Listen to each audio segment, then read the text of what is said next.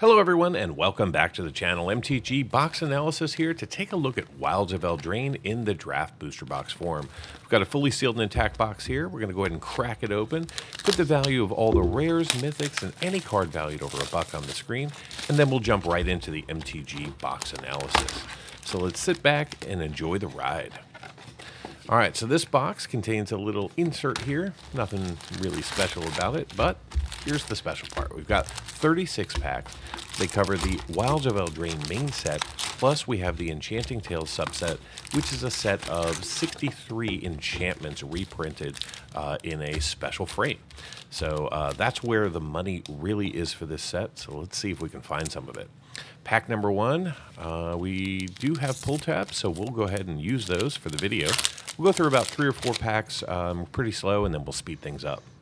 All right, so we got ourselves a Wicked and Cursed token here, followed by a Plains. And then we are going to see a Candy Trail foil coming in, plus an Impact Tremors from the Enchanting Tales, with a Gruff Triplets coming in from the main set. Then we got a Spellcorn Coven, a Belligerent of the Ball with an Icewrought Sentry, Moment of Valor, followed by a Fell Horseman. Then we got a Ferocious Werefox with a Grabby Giant. And then we're going to see ourselves a Leaping Ambush with a Freeze in Place and a Rat Out plus a Tunaville guide. All right, so that's pack number one down. Let's go ahead and slide into pack number two here. Uh, pack number one, not the best pack number one we've ever seen. All right, we got ourselves a Beast token plus a Swamp. And behind that, we're going to see ourselves a Raid Bombardment with a Restless Vinestalk coming in as our rare from the main set. Then we've got an Edgewall Inn, followed by a Solitary Sanctuary, Witchstalker Frenzy. Then we're going to see an Armory Mice with a ginger brute. Then we've got a Slumbering Keepguard with a Witch's Mark, followed by a Territorial Witchstalker, a Bellowing Bruiser, and a Wicked Visitor with a Snaremaster Sprite and a Misleading Motes in the back. All right, not a ton of value yet, but as I said, there uh, there is quite a bit of value in this set. Um, so we got ourselves a non-token token, followed by a mountain.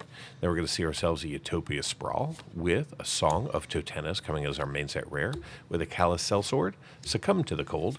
Then we're going to see a Gingerbread Hunter, a Ginger Brute, a Frostbridge Guard, a Fell Horseman, then we've got a Bastille Bloodline, Frantic Firebolt, Rootrider Faun, followed by a Rat Out. Then we've got a Stormkeld Prowler with a Return Triumphant in the back.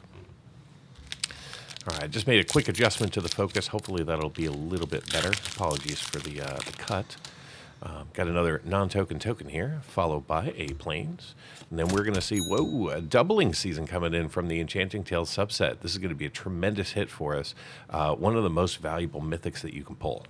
And behind that, we're going to see ourselves a Likeness Looter from the main set with a Picnic Ruiner, a Hearth Elemental.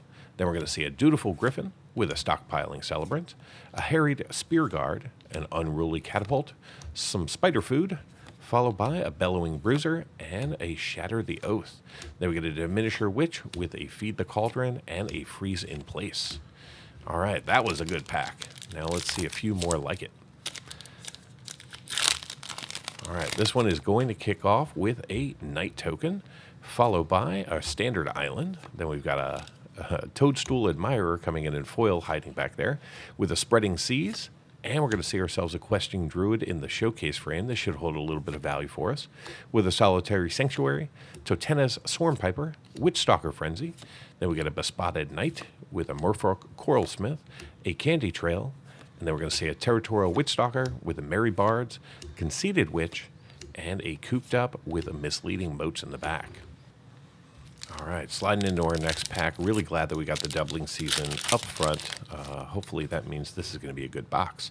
So we got some food, followed by a plains. Then we're going to see ourselves a ground seal with a spellbook vendor coming in as our main set rare. Then we're going to see ourselves a Dream Spoilers, Ashiok's Reaper, Cursed Courtier, Kellan Lightblades, Evolving Wilds, with a Hopeful Vigil, Troublemaker Ouphe. Then we got ourselves a Minecart Daredevil with a Verdant Outrider, with a Sugar Rush. Then we've got an Into Fae Court with a Barrow Naughty in the back. All right. I think we've gone through enough of the commons. Let's go ahead and speed things up uh, with this pack. So we've got ourselves another food token here with a, an island. Then we're going to see an intangible virtue. Then we're going to see a questing druid, this time in non-showcase, with a two-headed hunter. Then we've got ourselves an Ego Drain, Shrouded Shepherd. All right. That wasn't so bad of a pack. Nice to see Equestrian Druid. Um, that is one of, I would say, the good cards from this set. All right, we got ourselves another non-token token with a swamp. Then we're going to see ourselves a Galvanic Giant in foil with a Fraying Sanity rare. Then we've got a Spiteful Hexmage with a Stonesplitter Bolt, a Gadwick's First Duel, and a Twisted Sewer Witch.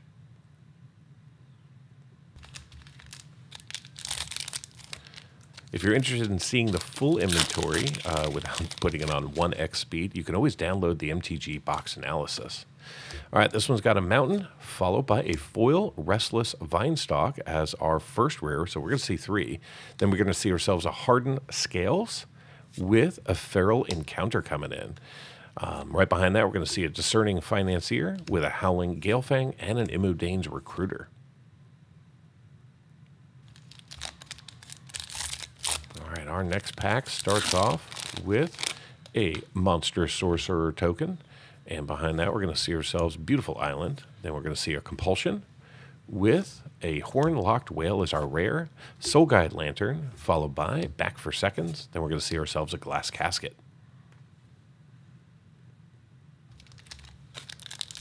All right, hoping for another big hit coming up uh, soon. It's been a little while since our doubling season. So we got some food for growth with a forest. Then we've got a Dragon Mantle, followed by Lord Skitter's Blessing coming in as our rare with another Edgewall Inn. Then we're going to see a Royal Treatment, followed by High Fae Negotiator. All right. Um, and I am skipping the commons in this box opening uh, from a reading them aloud because there are no commons valued over a buck. So we've got the Rat, followed by a Swamp. Then we're going to see ourselves a Stab Wound with a Farsight Ritual coming in as our rare with a collector's vault and an up the beanstalk. There's an uncommon valued over a buck. Then we're going to see a galvanic giant non-foil this time. And let me just double check and see if we're still only at one mythic. Yep, we are only at one mythic and a bunch of uh, light, lightly played uh, rares there. Let's check the Enchanting Tale subset. Yeah, wow. All right, 12 packs, only a single mythic in the box. Um, I'm expecting to see at least five, maybe seven, maybe 10 uh, in this box. So we got ourselves some food with another island. Then we're going to see an oppression coming on from the Enchanting Tales with an Expel the Interlopers, a two headed hunter. Then we've got Greta Sweettooth Scourge with a faerie fencing. All right, no mythics in that pack. Uh, will this be the pack that we see our second mythic? Who knows? All right, so this one kicks off with a Beast token, followed by a Plains. Then we're going to see ourselves Corval and the Noble Thief in foil, with a Prismatic Omen coming in from the Enchanting Tales, with a Restless Bivouac, another land rare, followed by a Discerning Financier, Ash the Party Crasher, and uh, Back for Seconds.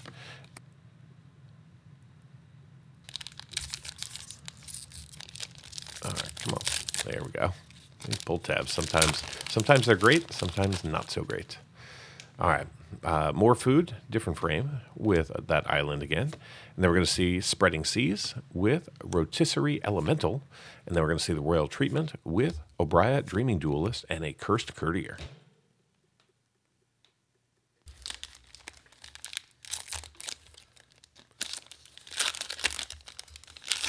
This one is going to kick off with a Wicked Cursed. And then we're going to see ourselves a Forest with a Fiery Emancipation coming in. Nice artwork. Followed by a Raging Battle Mouse with an Eerie Interference, Neva Stalked by Nightmares, and the Ash the Party Crasher.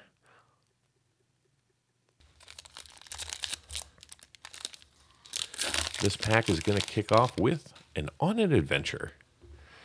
And then we're going to see ourselves an island with a Dark Tutelage, followed by Realm Scorcher Hellkite. Finally, our second mythic of the box, unfortunately not high value.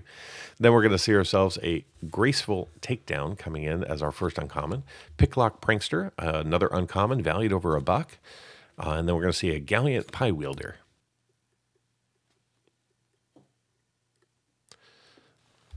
All right, there we go. Now I got my piles cleaned up. Let's move into our next pack here. This one's going to start off with a treasure token.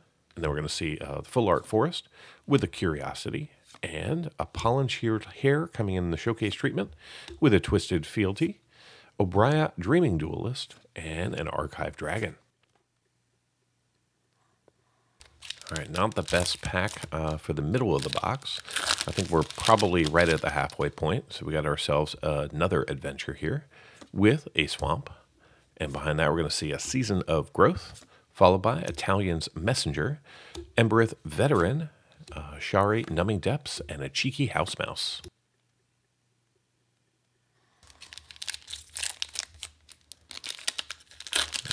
We've got ourselves a, another Monster Sorcerer token here, followed by a Mountain. And then we're going to see ourselves a Foil Forest with a Nature's Will coming in from the Enchanting Tales and a Bramble Familiar. Then a Woodland Acolyte, Troyan Gutsy Explorer, and Welcome the Sweet Tooth.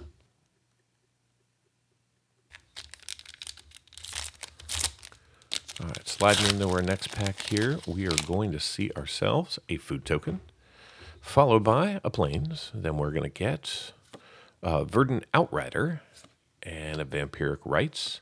Then we're going to see the Goose Mother, the mother of uh, the doubling season.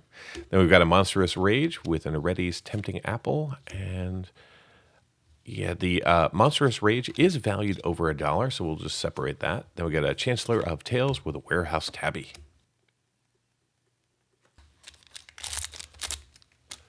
So there are a total of four uncommons valued over a buck. We've seen three. Uh, hopefully we get all four. So we got ourselves a rat with a mountain. And then we're going to see ourselves a foil mana flare coming in. And then we're going to see a grasp of fate with a werefox bodyguard. Then a tempest hart with a boundary lands ranger and a gingerbread hunter.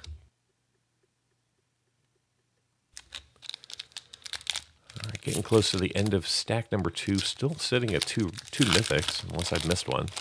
Um, this one's going to start off with a nightmare token. Hopefully, that's not the scenario for the box. Then we get ourselves an island, followed by a hatching plans and a twinning twins rare.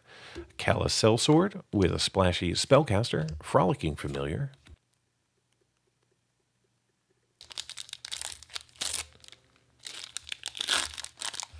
this one's got a food token, followed by a swamp. And then we're going to see ourselves a Restless Spire foil borderless coming in. Very nice from the land cycle. Then we get a Leyline of Anticipation, second rare of the pack. And we're going to see an Imodane, the Pyrohammer, as our third rare. Then a Corvul, the Noble Thief, Johann the Apprentice, Bitter Chill, and that'll do it.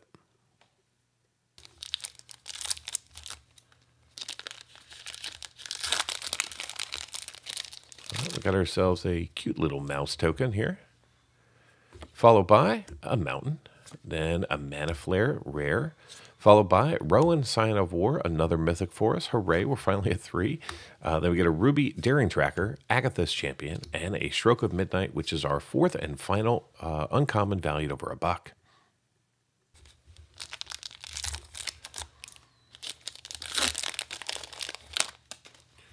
All right, another non-token token here, followed by a full art swamp and a ground seal, then we're going to see ourselves an, a Tale for the Ages with a Collector's Vault, Embereth Veteran, and a Glass Casket.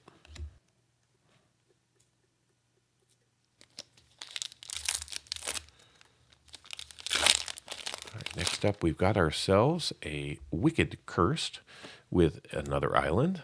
Then we're going to see ourselves a Griffin Airy and an Elvish Archivist coming in as our rare with a Red Tooth Vanguard, Dutiful Griffin, and a Lord Skitter's Butcher.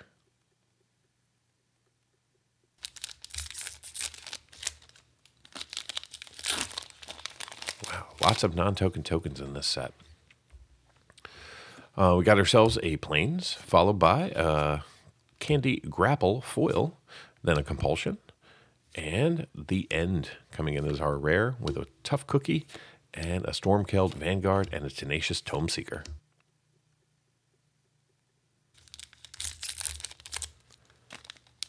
Getting pretty close to the end of the box, and I'm getting pretty nervous for the value of this box. So we got the food, followed by the swamp. Then we're going to see ourselves a dragon mantle with a bramble familiar, another showcase rare, uh, Disdainful Stroke, Tattered Ratter, and The Witch's Vanity.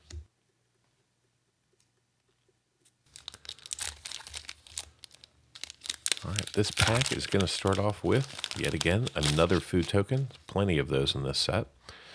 Um, we're going to then see ourselves a mountain with a Kindred Discovery Mythic coming in from the Enchanting Tales subset. That should hold some value for us.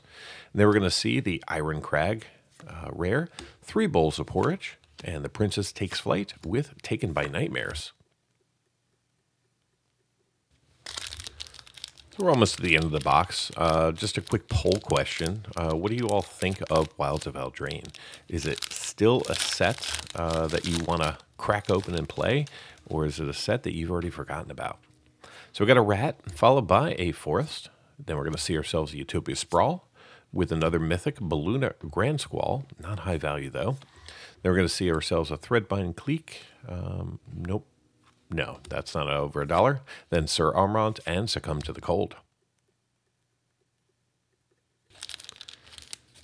The uh, cards are sticking at the top there, so I'm just going to crack this one up in the uh, traditional way. Not sure uh, why there's they're poking up there at the top, but let me fix that. All right, we got ourselves a Wicked Cursed with a mountain. Then we're going to see ourselves a Karmic Justice coming in with an Archon of the Wild Rose. Then we're going to see ourselves an Ego Drain with a Hearth Elemental and a Knight of Doves.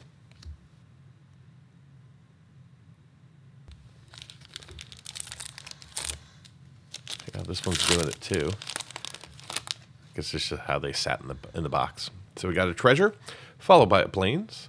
Then we're going to see ourselves a foil Edgewall Inn and a Knightly Valor with Redcap Gutter Dweller, a Dream Spoilers, Faerie Dreamthief, and Agatha's Champion. All right, getting pretty close to the end here. Don't know if we're going to see our value back in this box. So we got ourselves a treasure, followed by a forest, and then we're going to see Garruk's Uprising, an elusive otter, then a stonesplitter bolt, Knight of Sweet's Revenge, and a twisted sewer witch.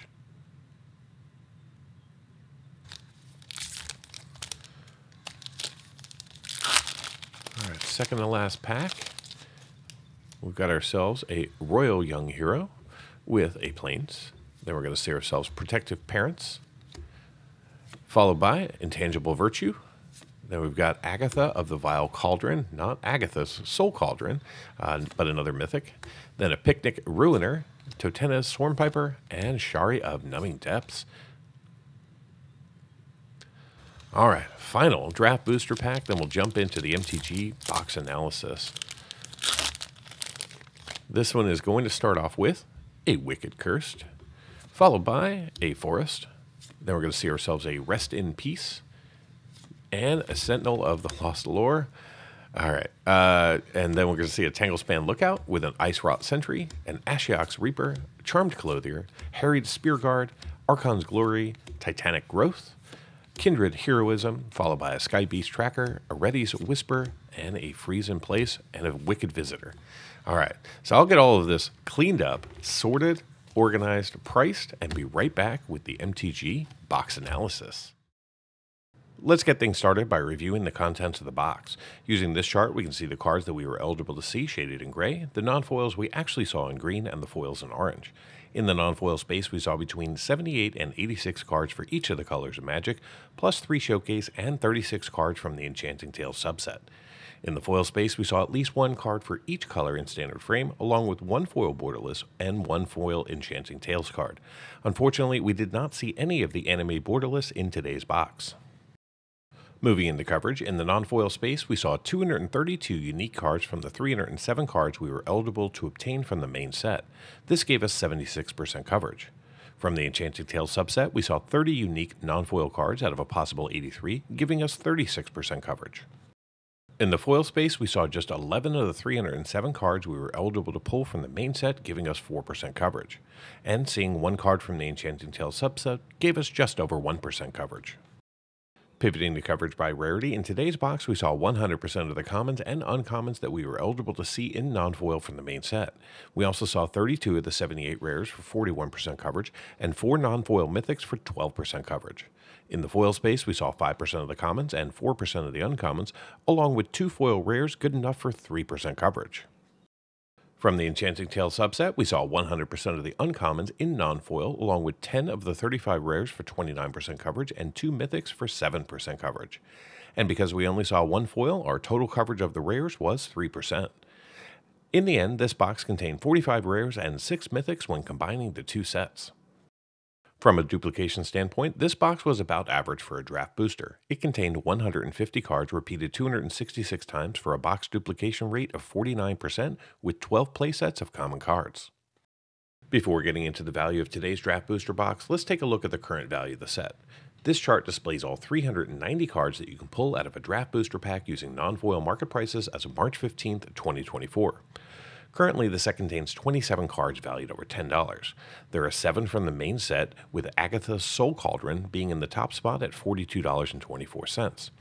From the Enchanting Tales subset, there are a total of 20 cards, 8 coming in standard frame and 12 in the anime borderless, with the Rhystic Study being in the top spot for both frames. The two sets also contain 10 cards valued between $5 and $10 and 47 cards in the $1 to $5 range. The other 306 cards in the set are currently valued under a dollar. A full set of all 307 main set cards has a market value of $229.88, and the 83 cards from the Enchanting Tales subset have a market value of $683.76, giving the Wilds of Eldraine a total market value of $913.64 as a set. Now let's recap the actual observed value that we saw in today's box, starting off with a look at the non-foils. We ended up only seeing one of the 27 non-foil cards valued over $10, but it was a really good hit. We saw the standard printing of the doubling season valued at $40.55. We also only saw one card valued between $5 and $10, which was the Kindred Discovery. We picked up 11 cards valued between $1 and $5, but the other 515 non-foils in the box were valued under a dollar. In the foil space, only two of our cards were valued over a dollar. The other 10 foils in the box are valued under a buck. So how did this box perform? Well, the market price for this box as of March 15th, 2024 is $97.76. The Wilds of Eldraine Draft Booster Box contains 36 packs, each with 15 cards, allowing you to see 540 cards plus tokens. The current market value of the 37 cards that we saw from the Enchanting Tales subset was $63.40. The 31 tokens and 37 basic lands are valued at $13.47 combined. The 316 commons that we saw have a combined value of $12.06, and the 112 uncommons are valued at $13.13. Now, the 34 rares that we saw from the main set have a combined value of $14.74, and the 4 mythics are valued at $2.10. Add it all up, and the grand total for this box comes up to be $118.90 in card market value, which is $21.14 over the market price for the box, and means that this box returned 122% of the market price in card value. However, in cards valued just over $2, the box looks like this. We saw just seven cards valued over two bucks in this box, and they have a current combined value of $60.62, which means that those seven cards only represent 62% of the market price for the box. This set has a ton of potential. Unfortunately, we only saw one great card in this box, and it wasn't enough to save it. Maybe the next box will make up for it. Thank you so much for watching, and until next time, do something amazing. Get early access to videos, download the analysis for every box open on the channel, and personally DM me, just like these fine people, all by becoming a member of the channel through YouTube or over at mtgboxanalysis.com. You'll find links in the description. Until next time, do something amazing.